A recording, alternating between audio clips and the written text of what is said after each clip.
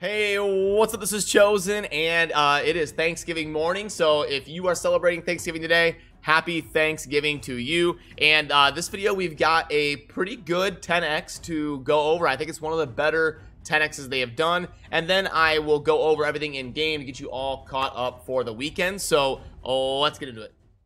Alrighty, so first of all, you will see this Summon Rush event that starts uh, it's 16 hours and 43 minutes for me right now at the time of recording this, but it'll be different for you when you see this. But what this does is it basically functions as a countdown to when the 10x will start. So if you're curious about when it is actually live, that should be a countdown. But as always, you do want to make sure and confirm in the portal by clicking the I. Usually down below, they will list the champions that are part of the 10X if you if you click on that little I and look in there. So you're going to want to make sure if you're summoning for the 10X, confirm it is live because if you're watching my video right away, it's probably not quite live yet. So there's the countdown and the portal aesthetic that you should check when you are uh, going to confirm that. So let's go over the champions that are in it. I think they're actually pretty good. Now, you probably know my sentiment by now about 10x's. Uh, I, I, think for 90 something percent of you out there, it's better to wait for a 2x. You get a little bit more value per shard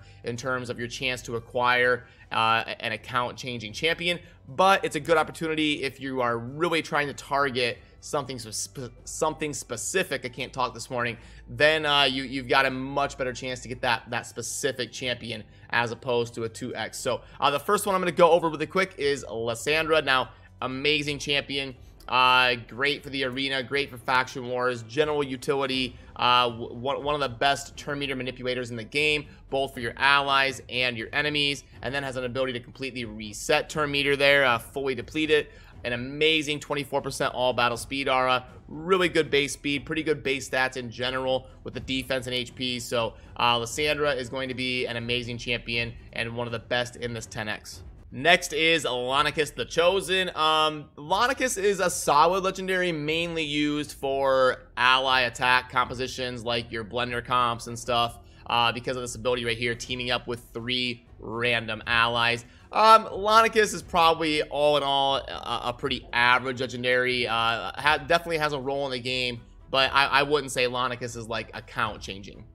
Maulie Tankard is also part of the 10X. Um, pretty solid legendary. I would say probably um, an above average legendary. And uh, the, the cool thing about Maulie is she is extremely good in Faction Wars. She is the most impactful champion to have in the Dwarves faction in terms of completing the Dwarves faction wars. So I would say that would be the most notable thing to know about Maulie.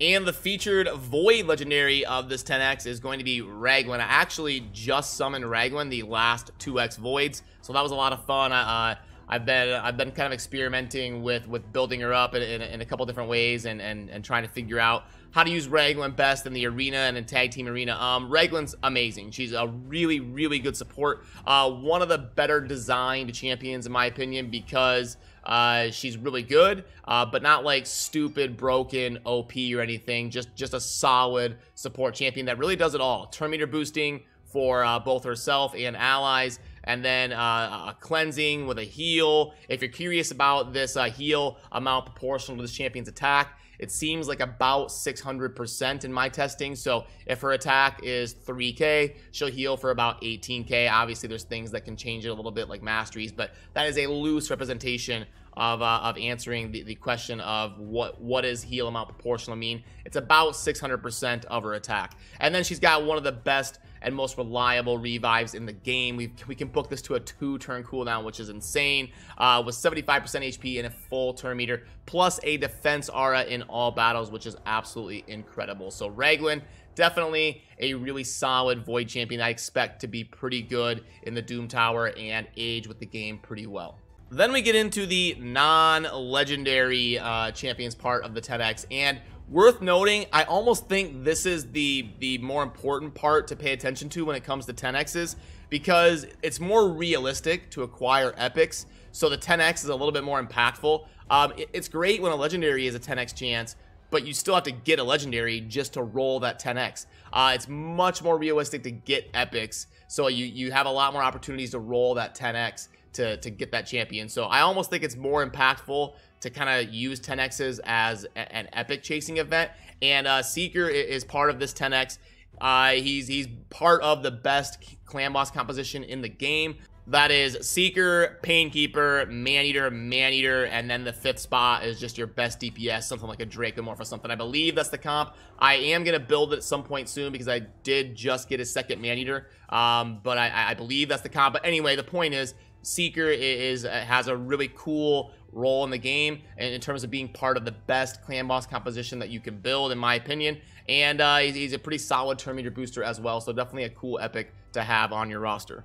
Gorgorab is also part of the 10X, and uh, basically, Gorgorab is a really good early to mid-game arena champion because he's got speed aura, turn meter boosting, revive, lots of cool stuff, uh, uh, chance to remove buff on the A1, and, uh, and he can also be good in faction wars because of that ability to revive and and the other utility he has that I mentioned on his kit is, is extremely good in helping you progress in undead faction wars as well. And if you're if you're struggling to to uh, clear content or progress in dungeons he can be good there uh, and come in pretty clutch as well Golden Reaper is in this 10x and and Golden Reaper is a champion that I'm surprised doesn't get more uh, more love in the raid community that, than she does because she's pretty similar to Apothecary but also does some cool things that Apothecary doesn't and Apothecary gets all sorts of love in the raid community. But she's got this ability which is very similar. It's going to be an AoE 30% increased speed buff on a three turn cooldown when booked that also boosts turn meter that's a very very good support ability she's also got an A1 that has a, a decent chance of decreasing the cooldown of one of a random ally skill, which is kind of a cool effect to uh, to help cycle through your team a little bit faster there on the A1, especially because she's built as kind of a higher speed champion, so you'll proc that effect a lot. And then you've got AoE decrease attack, which really helps the toughness of your team. This is on a four turn cooldown. I think if this were on a three turn cooldown, we would see a lot more of Golden Reaper and, and she would get a lot more love. So that's a little bit unfortunate, but hey, uh, still a pretty generally useful champion here, especially for anybody who's early or mid game. And the last champion in the 10X is going to be the Void Epic Sylar. Now, I love Sylar. I've been I've been uh, singing her praises for a, a, very long time. Uh, amazing in Faction Wars, can can do some cool things in lots of dungeons for helping you progress, especially if you get her in a stun set or something because of the all AoE abilities. We got the AoE A1, the AoE A2, and then the uh, the A3 here is, is one of the best uh, kind of speed suppression abilities in the game. It's AoE, big version of decreased speed, and decreases turn meter by 40%, which is, that's a big turn meter reduction to have on an AoE, and we can get that to a 4-turn cooldown, build her at high speed, get her to like a 4-3 ratio, or even better, and you can really keep your opponents suppressed, especially if you get her in a stun set to boot. So yeah, I think Sylar is an incredible champion that, uh, that not enough people try to get utility out of.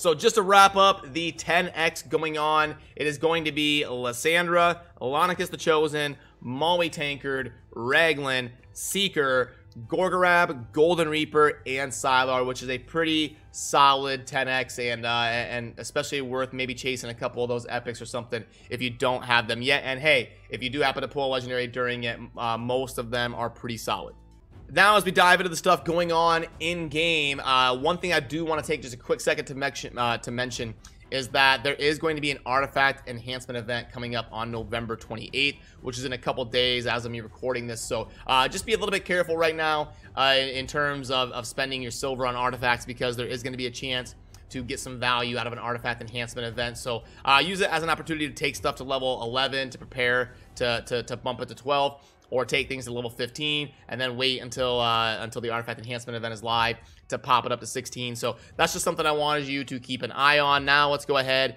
pull up the tournaments and events tab to go over this stuff. Um, really uh, right now you, you've got about a day and a half left on the dragon tournament Nothing, uh, nothing really of note here except for the the champion fragments you may want to scoop up. Um, you know, hey, why not? It's something fun to do, and uh, you should collect champions when you can. A brand new epic here, so I am at least gonna gonna go after some fragments here uh, and get that. And uh, Dragon is typically a tougher tournament to win because lots of people are willing to go super hard on grinding it, so it can be a little bit harder to finish up in the top uh, two or three uh, of your group. But I would at least get out, get get after the fragments here on the right. They're pretty reasonable to get. Unfortunately, there's no void shard or legendary book, so uh, going past that, if you if you're just trying to min max it, I would probably stop at getting the 15 fragments here on the dragon.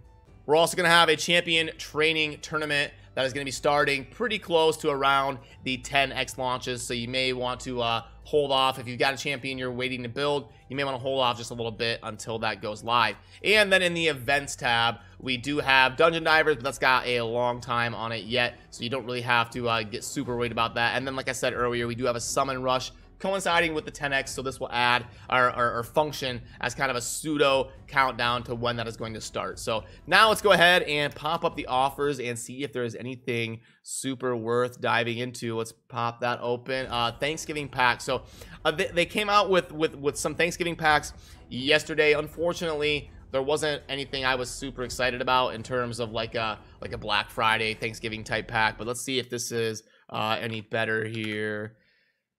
Let's plug this in. We've got uh, 2.8 on the silver. Energy 1400. And uh, 14, that looks like classic refills. Yep, 14 classic refills. Okay. And 28 big arcanes. All right. That is actually a lot of arcanes. Um, 1400 gems. And then the big uh, bombshell of this pack is going to be the 14 legendary tomes. Uh, okay, so 2.65. Um, it's expensive. Uh, that's a big offer to not get any shards. I would have liked to see them throw in a few shards, especially being during a 10x. I think that would have been, uh, but maybe there will be other offers that have that. Um, yeah, so, uh, you know, you, you got to grade this based on your own spending and, uh, and, and what you kind of need on your account all I do is kind of grade the offers and how they relate to what we typically see in the game. So this one is a 2.65, which is technically pretty good. Uh, Black Friday pack, this is a little bit better. I, I, I, like the cheaper ones that are a little bit more realistic to buy for, for more people. So let's plug this in here. Um, we've got 20 of the middles and 2 million silver. Uh, no energy, but we do get 12 energy refills three days of XP, uh, five classics, and three legendary tomes. Okay, so yeah, 3.44. This one's definitely better and also uh and also a lot more realistic to purchase um, at, $15. I, I, like those a lot more than the $70 ones. Uh, $70, it, I, I, like it to have some shards in there to at least give you a chance to hit something big for your account. So, um, yeah, this one, this one is is more in line with something that uh, that I would recommend scooping up. Uh, so yeah, I, I like the, the, the Black Friday pack. This one's this one's pretty good here. The monthly pack uh, is a 2.68 or something, something around there. If you're curious about how that one graded out, it's a it's technically a pretty good pack. Uh, mini mix is, is a daily type thing, and $60 for lifesteal gear is a no-go. Um, there really there's uh, nothing that's worth $60 in in terms of gear purchasing, in my opinion. But the only one that is would be uh, if you are a, a pretty high spender that is really trying to compete high in the arena, then maybe the speed or divine speed would uh, would be worth that to you. But for 99% of people, these, these, these big gear packs are not a wise investment in my opinion. So to wrap up, I think uh, the Black Friday pack would really be probably the only recommendation from me. The Thanksgiving pack is technically uh, decent value uh, compared to what we typically get for offers in the game. But uh, $70 is, is, a little bit too expensive to not get any shards or chance to change your account in, in, in a big way. So I, I, would pass on that personally, and this would be my uh, my uh, my only recommendation of the offers here.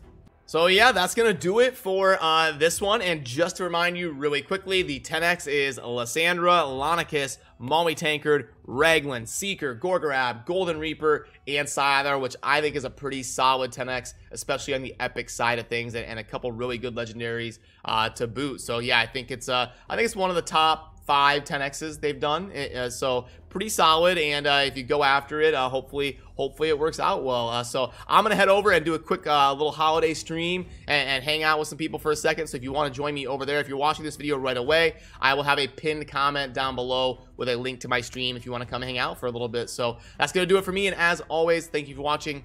Have a good rest of your day. Peace